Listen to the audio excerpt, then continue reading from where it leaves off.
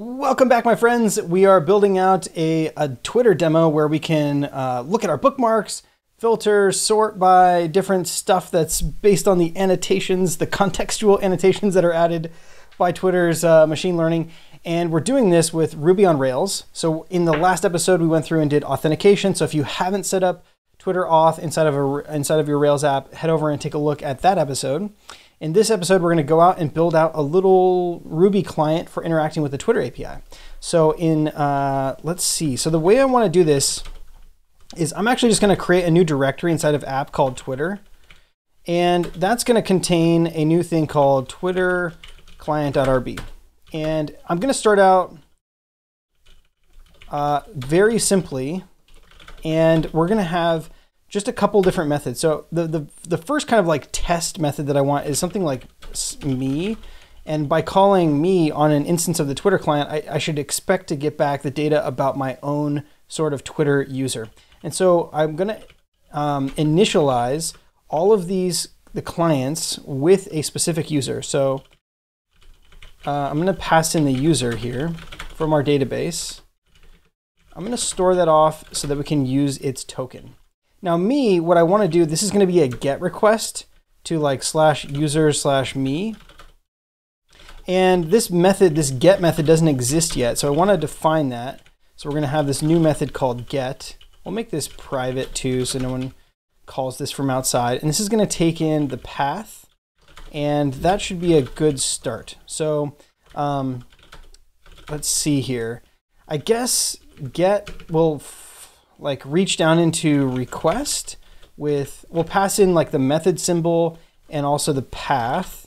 And then inside of this other request method, we'll take in the method, we'll take in the path, and then we'll take in any like body, which might be just kind of like a, a hash or something, or uh, I don't know. We're, I, I think ultimately the post post bodies for the Twitter API are JSON encoded. So we'll just two string that that thing and deal with actually we'll just deal with post requests later. For now we only really need get requests. So um, let's see. So uh, what we want to do let's actually use rest client. So the rest rest client gem um, okay. So rest client great little http client very simple. Um, has this execute method where we can basically pass like lots of raw stuff and we don't have to use any of their built-in things. So let's use rest client dot um, rest client dot request dot execute and what does that look like? So it takes in the method. It also takes in the headers and a, maybe a payload. So this should be a good start for us. Okay. All right. Um, so there's going to be some standard headers that we want to pass. And there's going to be some base URL that we want to um, concatenate with our path. So let's add in a constant here called base URL. And that's going to be something like um, api.twitter.com slash two, I think. Documentation for users. All right, the API reference for user slash me. So yeah, api.twitter.com slash two slash user slash me. So that is the right base URL. Um, and then here, I guess we can con construct some like params, and then we'll use those params as what we pass in. So we'll just pull these up here, and our method is going to be whatever was passed in. Our URL is going to be our base URL plus our path.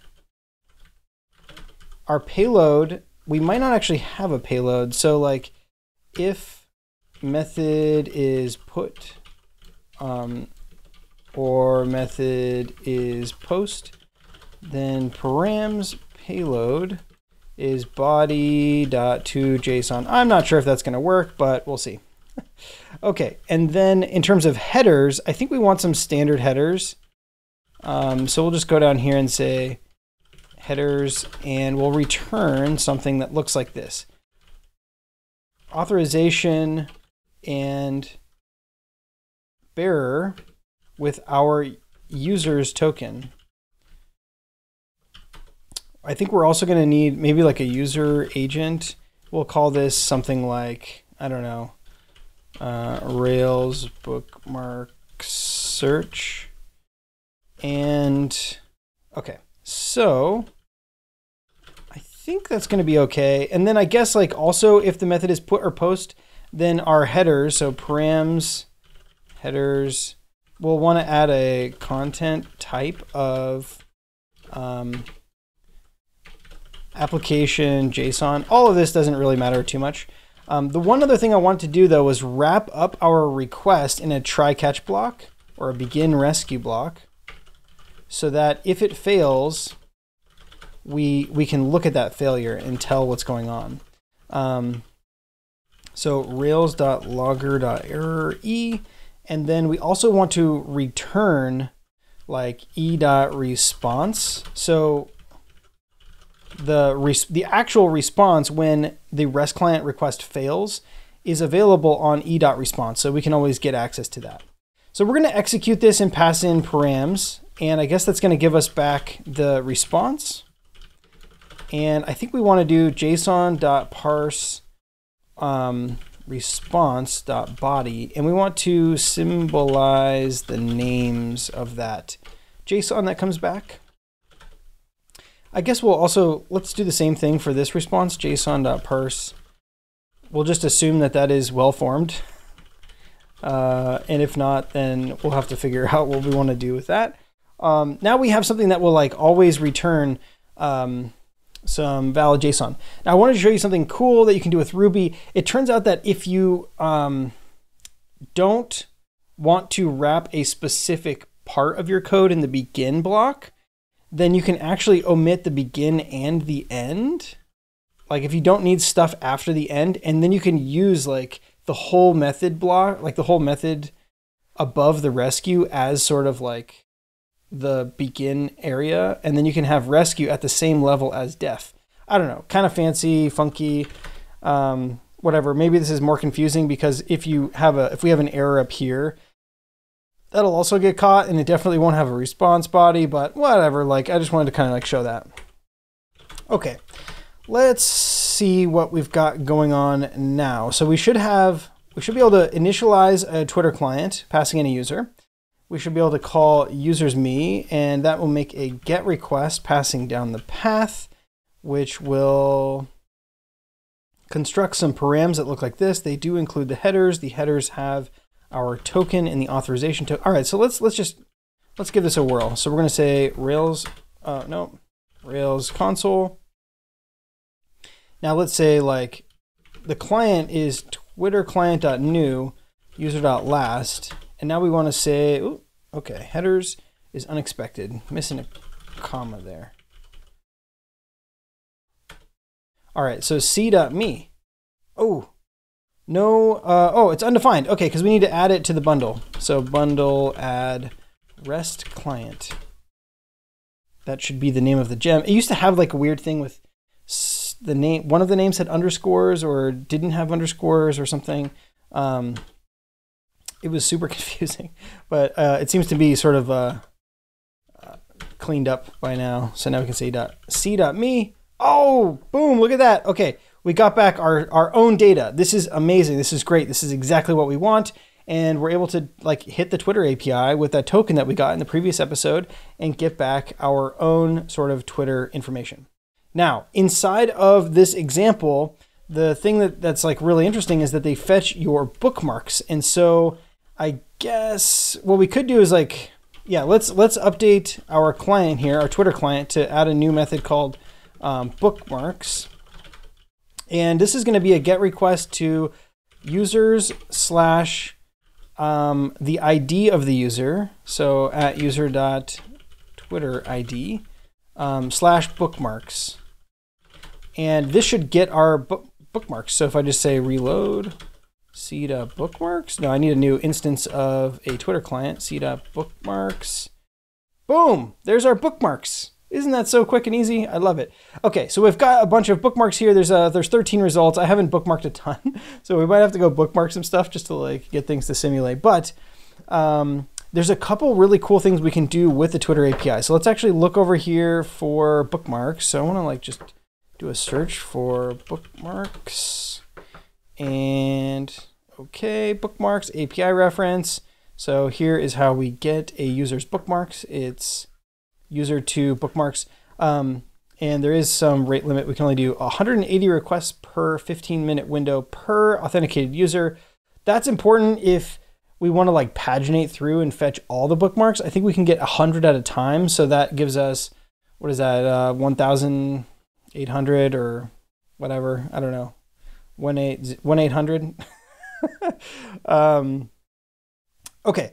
But what I wanted to look at is these query parameters. So we can pass in expansions, and one of those expansions is the author ID. So as we're listing out our bookmarks, we want to show like the who wrote the bookmark or, or who was the author of the bookmark and um, a couple other things. So if we look back at the code that they have here, we can see expansion. No, let's. It's going to be they they pass it down from the front end. So expansions. Okay, so this is kind of the stuff that they add. Tweet fields, expansions for the author ID, and the user fields. They want to see if the user is verified and get their profile image. Um, so let's add these same expansions. So like what we really want to do is add a query string here that's something like tweet fields equals, and then this thing here that looks like this, context annotations, comma, created at. Um, and then an ampersand and some other stuff, but it becomes a little bit hard to maintain if we're kind of like just hard coding this query string. So instead what I want to do is add just like query here, and then I'm going to add a new thing, query is equal to a hash dot to query. And now I can plop in whatever sort of stuff I want to inside of here. Now this is not like a super reusable Twitter client. This is like very strictly just for what we want. In practice, I would probably make it so I can, you know, take in a user ID and maybe take in the, you know, the query params or something. And then I would call like query params.toQuery query here and pass those down. But we're just kind of like hard coding a bunch of stuff here to keep it to keep it super simple as we get started. So we're going to start with tweet fields, points at, um, that's not going to work because it has a dot in it, but whatever. Um, this thing, so we're going to put, we're to make this a string a symbolized string. It's like a civilized string. civilized. Um, expansions, author ID, and then what is this one? This one is going to be user fields. And which which fields do we care about? Well, we care about the verified and profile image URL fields. Okay, we don't actually care about verified. Nobody cares about verified right? You don't want that check mark. I would love the check mark, but I don't have it, so I'm a little bit salty. So that's just how it is. All right, so we say get Twitter user ID bookmarks. We pass in this query string, and I don't know. Let's give it a whirl. Let's see. So reload, and then we want to make a new Twitter client and see bookmarks.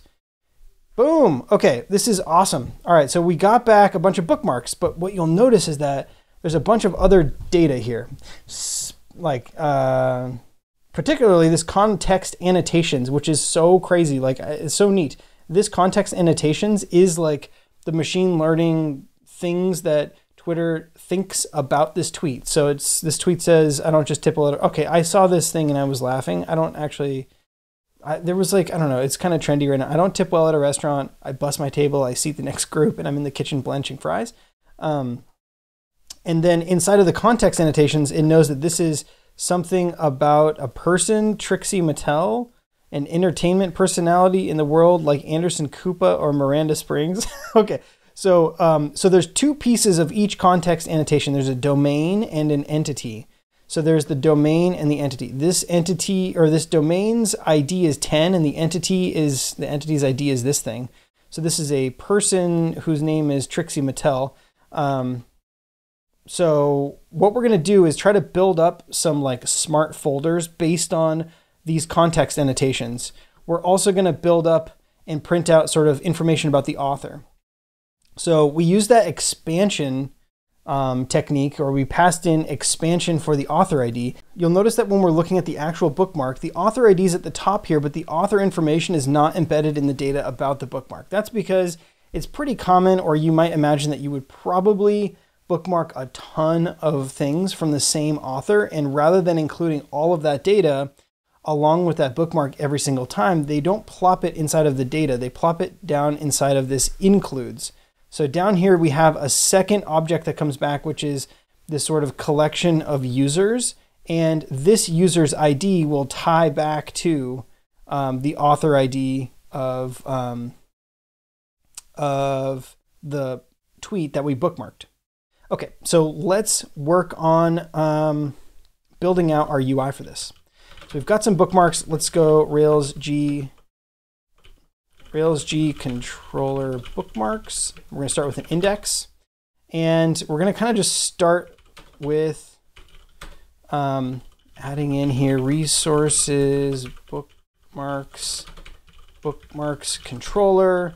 And we're to say something like um, we want to create a new Twitter client with our current user. And then we want to call like bookmarks is client.bookmarks. And then on our bookmarks index, we're going to just render out like a pre-tag of the JSON for those bookmarks. Pretty generate it should make it so that it has spaces, but we're missing a current user, so this is going to just fail for now. Okay, uninitialized constant bookmarks controller Twitter client. I think that's because we haven't restarted the server. We haven't. We also haven't set up a current user, so this should fail. Okay, undefined local variable or method current user. So let's jump into our application controller and add a method for current user. It's going to be something like user.find by the ID of session user ID. Okay, this is going to map back to our um, the the thing that we tagged here or like cookied right here. So when the when the user first logs in, we create that user in the, that user model in the database. Then we take their ID and we put it into the session or like into the cookie. And then what that means is that for every subsequent request that uh, user makes, we're going to be able to look that user up in the database by ID. And I'm using find by ID here so we don't get a 400. And I'm going to say at current user or equals that so that we sort of memoize it. We don't have to look it up a bunch of times in case we need to call current user a bunch of times. So here I'm going to say, I'm going to make another method called require user. And this is going to just say like, if there's no current user, um, we're going to redirect to the root page where they can log in. So we're going to go back to our bookmarks controller, say before action, require user, and let's refresh. Great. Okay, so there's no bookmarks. Why is there no bookmarks? Okay, there it is. I don't know what that happened. That was odd. All right, we have our bookmarks. They're rendering on the page. And let's see, named people in the world like Nelson Mandela. okay, what what in the world is this? Okay, I okay, so let's see. There's a, there's definitely some other things that I've bookmarked. Uh, uh, let's see. You don't have to be a. Uh, you don't have to contribute code to contribute to open source. Yes, you can totally just write docs or file bugs or whatever. Um, so let's call that good for this episode. In the next episode, we'll go through and we'll build out a UI for rendering out these bookmarks. We'll build out a UI for the smart form or the smart folders and things like that. Thanks so much for watching. Uh, hopefully, this was useful. And uh, yeah, we'll see you in the next one. Cheers.